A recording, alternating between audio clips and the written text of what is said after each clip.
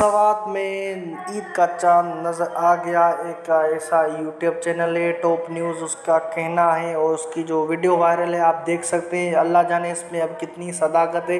लेकिन हमारे एस्ट्रोलॉजिस्ट और जितनी मेरी एस्ट्रोलॉजिस्ट में तजर्बा है तो हमारा कहना है कि कल ईद नहीं होगी, क्योंकि चाँद की पैदाइश इतनी हो चुकी है, लेकिन इतनी नहीं हुई कि वो दिख सके प्रॉपर नमूने से। तो ईद इस बार हफ़्ते को होगी। तो हमारा और जैसे आप जुड़े रहें पाकिस्तान में तो 12 बजे से पहले ही ऐलान आ जाता है, लेकिन हम कुछ कह नहीं सकते।